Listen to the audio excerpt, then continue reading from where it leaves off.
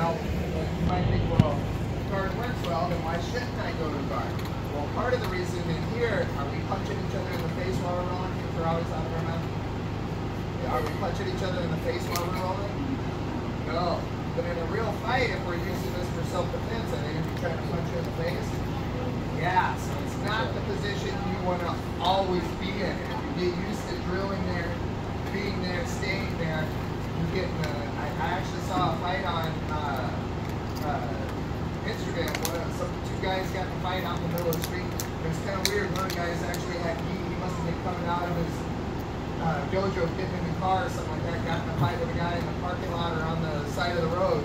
But uh he still had dojo pants on, and they had uh, Gracie Barra on the side of his pants, which is a Brazilian Jiu-Jitsu school.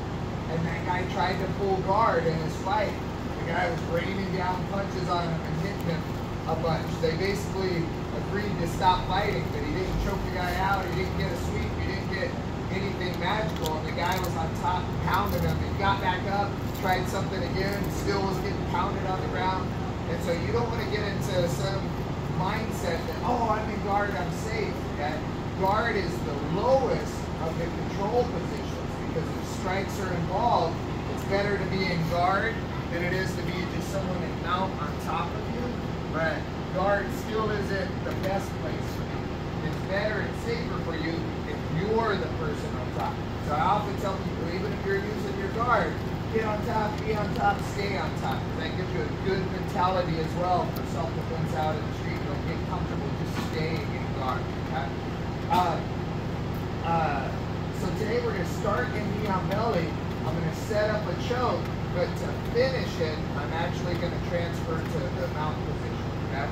So in this one, I have knee on belly, and then where our one hand is in the collar already, I'm going to use that hand to open and go through to this side. Okay?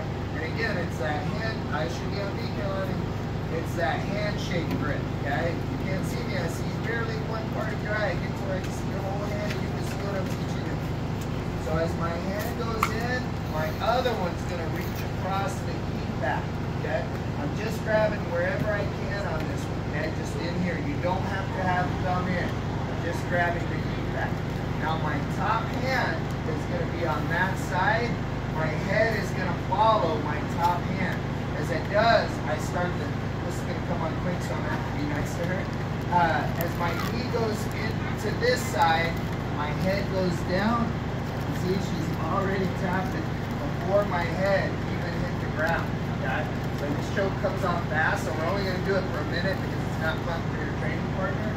Uh, make sure you're tapping. Okay? Uh, I- I'm going to try to be nice on this one. Once I get this one in and I'm here, I'm going to bring that into choke.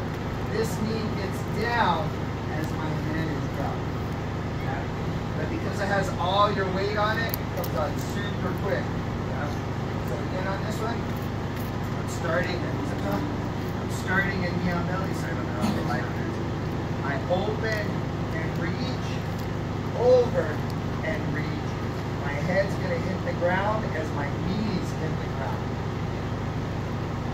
Notice, my foot's not on her. My foot's not on her. Once I get my knees to the ground, my feet go into regular mount. Okay, so I'm not up here like this or quarter guard or uh, knee on belly still like that. My foot, my knee comes all the way over.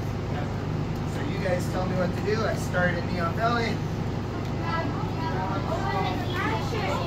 Open the knee and handshake grip. Thank you, Eli. Everybody was saying just handshake grip, but what do I gotta do first? Open Ah, that's not- So when I open the gi, why do I have to open the gi? No? Who said that? Yes, way to listen, 'cause I always tell that. We don't open the gi just so we can get in easy. Watch this side. Okay, yeah, that sounds like this. When if I don't open it, see how there's still all that space there? But if I pull that slack out, now it's tight against her neck. Now my hand's tight against her neck, and then now when I go, it's gonna come on super tight. So I don't want it to be loose when I grab. So I'm basically taking up the slack when I open, and then getting my handshake grip. So that was the first part, handshake or open and handshake grip. Then what? Grab the key down, knee down. Same time. She's already tapped before I even hit the ground. Okay? Good. Questions on that one? Uh, we'll go slow about two or three times together, then I'll watch you do it. On three. One, two, three.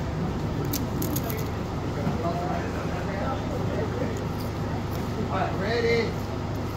Uh, when you're doing it, let's lay uh, head that way, feet that way, knee on belly on that side. Uh, switch sides, Thomas. Wait, is that clear? No, uh, actually, no, I'll try to do it just like I did. You can be on this side. I'll be on this side. Alright, so ready? Open the gi. Handshake grip in.